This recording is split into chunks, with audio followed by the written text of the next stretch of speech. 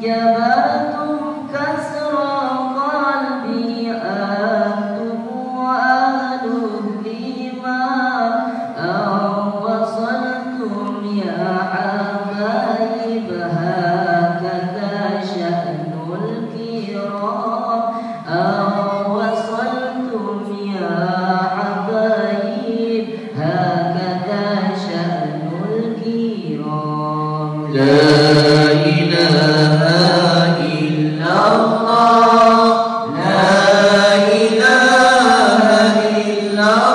Allah.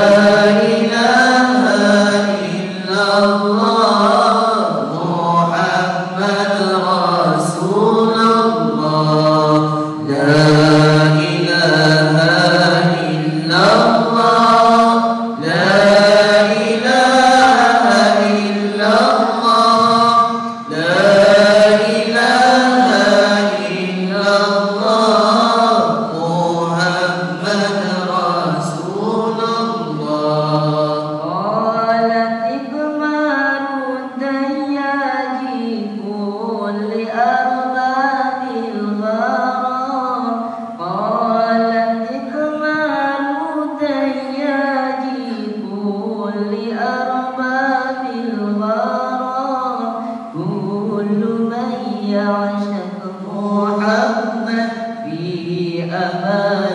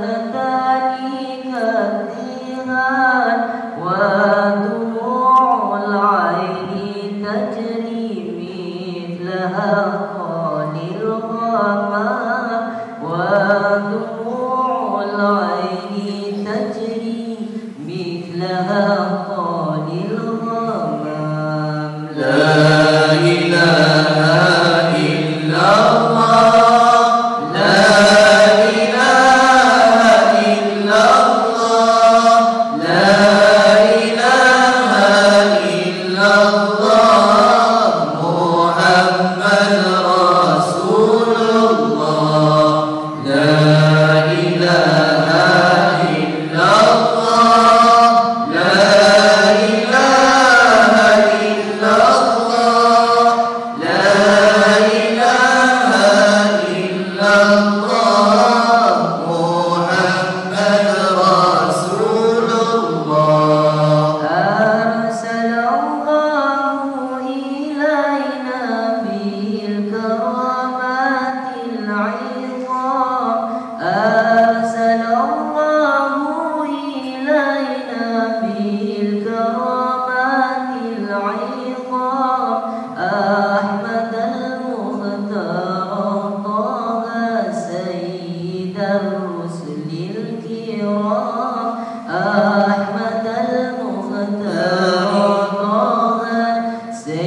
those that need thee, all.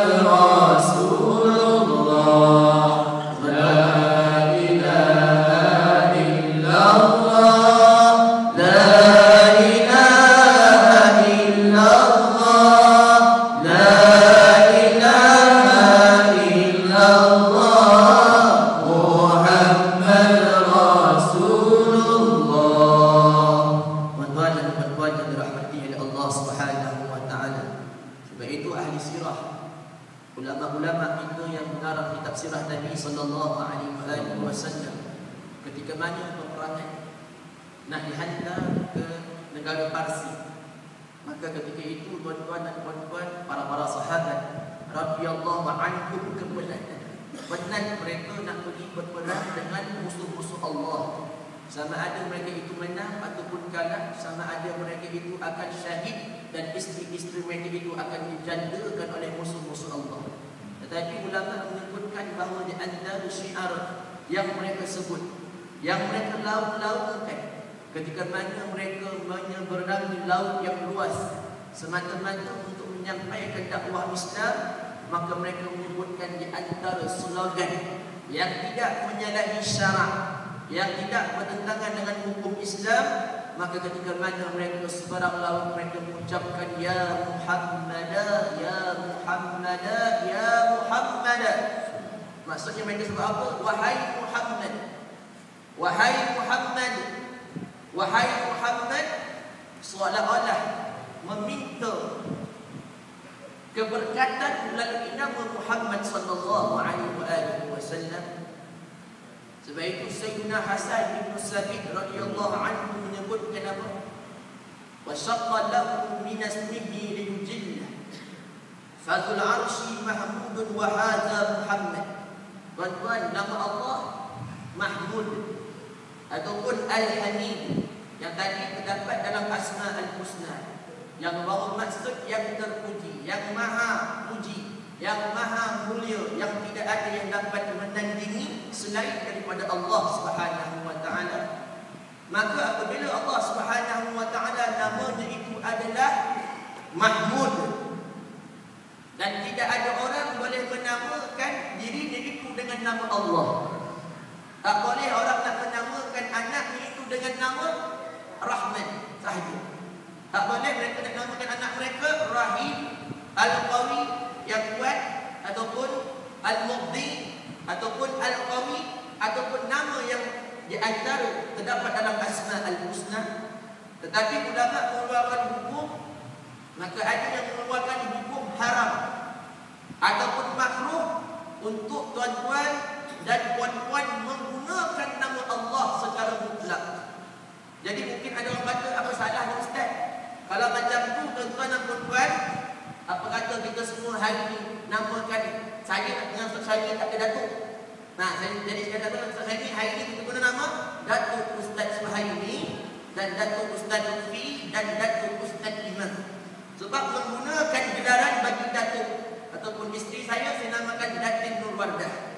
Tak pun kalau pangkat yang paling besar, gelaran yang mulia di pertuan agung, agung tu kalau bahasa